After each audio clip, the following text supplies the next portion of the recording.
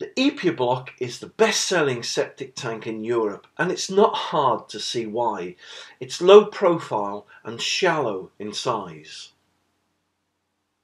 It's very easy to install. It's been created for the DIY market so typically it takes two to three hours to install from start to finish. It requires no concreting so you can install it with sand or 20 to 30 mil granular backfill. It's heavy duty in construction, yet light, so unlike fiberglass, it won't buckle or break. And it's available in 3, 4 and 5,000 litre sizes. The Epurbloc is also very easy to install. Step 1. Dig a hole. Step 2.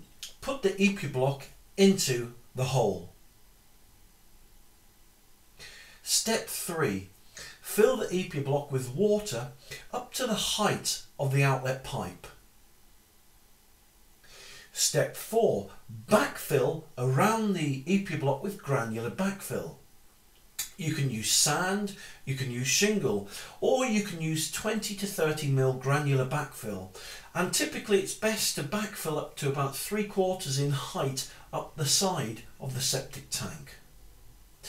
Step 5. Backfill over the granular backfill and the septic tank with topsoil. Job done. You can also fit risers to the Epurbloc which allow this um, the septic tank to go deeper into the ground. Step 1. Lower the septic tank into the hole. Step 2. Attach the risers to the top of the septic tank. Step 3. Backfill around the septic tank with 20 to 30 mil granular backfill you can use shingle or you can use sand. And again, it's best to backfill to a height of about three quarters up the side of the septic tank. Step four, once you've done that, cover the granular backfill and the septic tank with topsoil.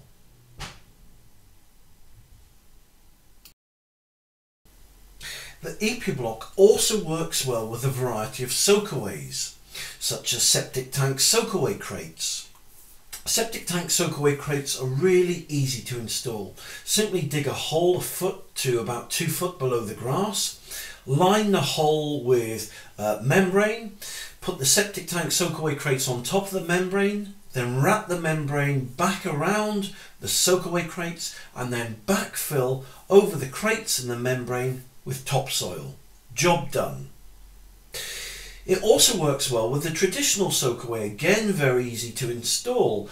Dig your hole a foot and a half to two foot below the grass, line it with a shingle bed, then on top of that put uh, perforated pipe and again cover with shingle and topsoil and you've got your soakaway. It also works extremely well with flexi drain soakaway pipe. Now, flexi drain soakaway pipe is designed to go in the topsoil. Again, very easy to install. Probably the easiest of all the soakaways to install. Simply dig one, two or three trenches. Once you've done that, line the trenches with the sections of flexi drain. They just slot together and connect together really easily. There's no need for membrane because the membrane already comes pre-wrapped around the flexi-drain. Once you've laid them into the hole, cover the pipes with topsoil, then you can turf or reseed. Once you've done that, you've got your soakaway in, job done. For more information on our soakaway kits or our septic tanks, please contact us at septictank.co.uk.